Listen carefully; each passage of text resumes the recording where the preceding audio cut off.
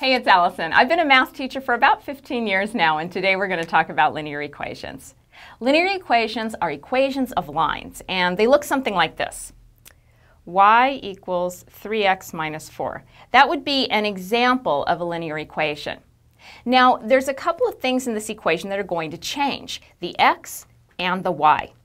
Their values change or vary, so they're called variables x is the independent variable and y is the dependent variable. Now, I can tell this is a linear equation just by looking at it, and here's how. The independent variable, the x, is only there in the power of 1. I, it says x, but you know x is really just the same as x to the power of 1. We just leave the 1 off.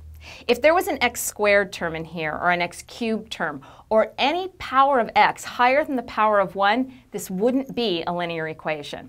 So anytime you see an equation that has the independent variable in only the power of 1, you know it's a linear equation, the equation of a line.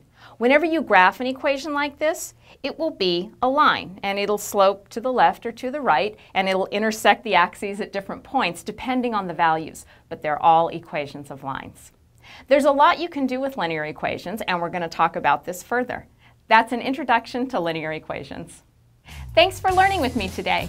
If you'd like more information on any of the topics, click on the links below. And be sure to rate, comment, or subscribe to our channel. If you have a specific request, please send it to requests at mahalo.com. I'll see you next time.